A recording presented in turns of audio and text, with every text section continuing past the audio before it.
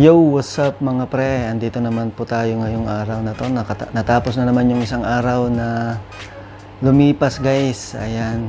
Ngayon, panibagong vlog na naman po yung gagawin natin ngayong araw na to. Ayan guys, samahan ninyo ako.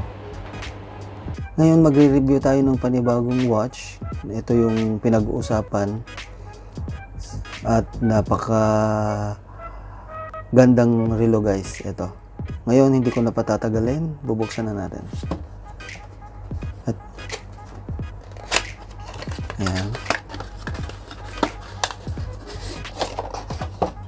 Ito yung warranty card niya guys. Ayan. Okay, open na natin. Ito yung module ah, number niya. 5611.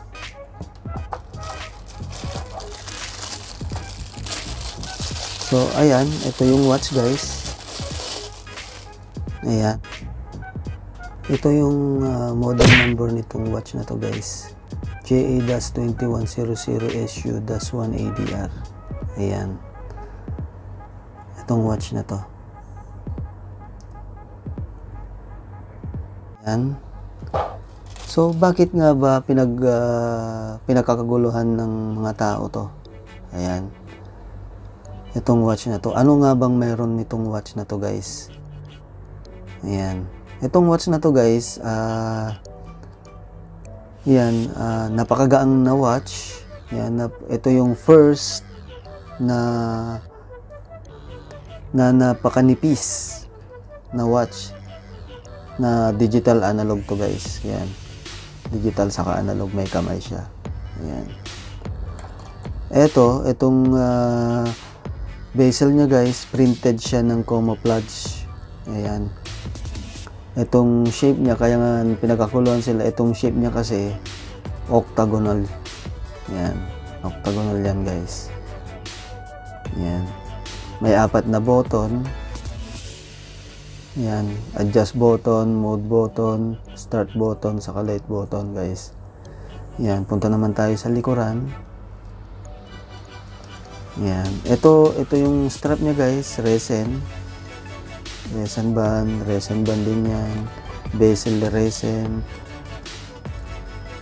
yan, aluminum, ito guys, yung takip ng ah, ng watch, yan, carbon core guard, ito yung carbon core guard nyo guys, ito, yung nandito yan, yan, yan, ginawa ito yung mga lightweight material kasi ito guys, pero matibay, itong, itong yan yung ah, carbon guard niya. Ayan. And then yung model number ng watch, ayan, na GA-2100SU, ayan. Shock resistant, ayan, 20 bar, ayan. Japan movement, yes siya ng Thailand guys. Pero ang mechanism nito, Japan made, ayan. Ayan guys, ah, ito yung personal appearance niya. So itong ah, ito nga pala yung light niya guys dito. Ayan, nandyan siya. Ayan. Yung mga design niya guys dyan. Ayan, afterglow yan guys, pati yung kamay. Ayan. Ayan. Saka yung life ng baterya nito guys 3 to 5 years battery life to guys. Yan itong watch na to. So ano nga bang inaantay mo guys?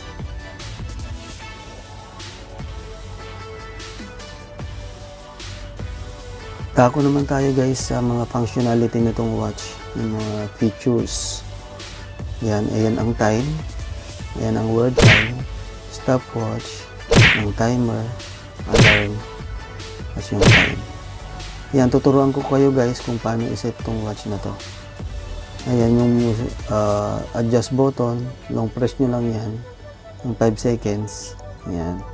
For example, set natin ng Philippine time. Yan, dito ka lang. Dito. Yan. Hanapin mo lang yung Singapore or Hong Kong. Ayan. And then, isang press mo lang dito sa adjust button. Yan, mag-automatic na yan guys. Lahat na yun, yung date, yung gear, saka yung ano, time. Halo, yan. Ayan. Yan na yung time sa Pilipinas guys. Ayan. Ayan. Ngayon, itong world time, pwede man nating kahit anong bansa na pwede nating iset yan. Pwede yan guys. Mamili lang kayo kahit anong gusto nyo. Yan.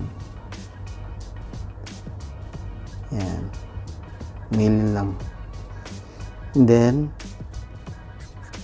mode, yan ang stopwatch niya, yung timer niya, yung alarm niya, tapos yung time. Ganun lang yung kasimple guys. Ito yung module niya. Yan, then, nandyan na rin yung Sunday, Monday. Monday na ngayon yan sa Pilipinas to 2 a.m. 2.01 na sa Pilipinas. Yan. Ayan. Ayan guys, ah... ito, ginawa to kasi yung looks niya guys, napakaganda. Yung design, napakaganda. Yan. Ito kasi pwedeng pang casual, pang daily activities. Yan. Walang problema to guys. Yan, sa mga nag ah, sa mga collect nagko-collect diyan guys. Yan, isama niyo na to sa mga collection ninyo. Ayan. Napakagaan lang to guys. Kasing bigat lang to ng isang itlog. Ayan. So, punta tayo dun sa total itong case niya kung gaano nga ba kabigat at kalaki nitong watch na to. Ayan. Yung ah, size of case niya guys is 48.5 by 45.4 by 11.8 millimeter. Ito. Ayan. Tapos yung thickness niya ito. Ayan. What we do here is go back, back, back, back, back, back, back. So, yung total weight naman nito guys, 51 grams. Ito, itong watch na to. Ayan. Siguro, ayan, nagtatanong ka na, nagtatanong ka na ngayon kung magkano nga ba tong watch nito. Ayan guys, sa dollar, 130 dollar. Sa Kuwaiti dinar, dito sa Kuwait, 40 KD. Sa pesos, ah, 6,000 pesos guys, itong watch. Ayan. So, ayan guys, try natin. Suot.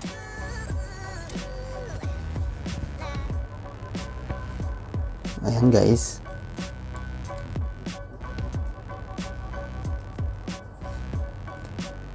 Ito, ito yung watch guys. Ayan, napakaganda.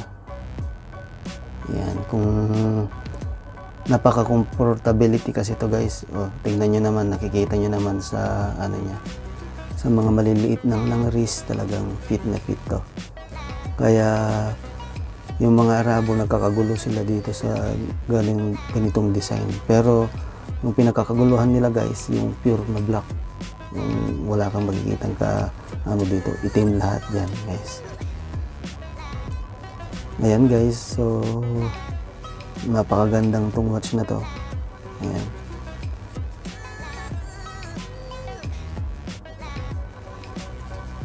Design, looks, pogi, yan. Comfortability, andyan na, check. Yan. So, ayan na nga guys, dito na tayo nagtatapos. Ah, So ayun guys, kung may mga comments, suggestion kayo ah, para makatulong sa akin, ayan, huwag kayong maiyang i-comment lang dyan sa comments box guys. Ayun guys, ah, maraming salamat. God bless po sa inyo.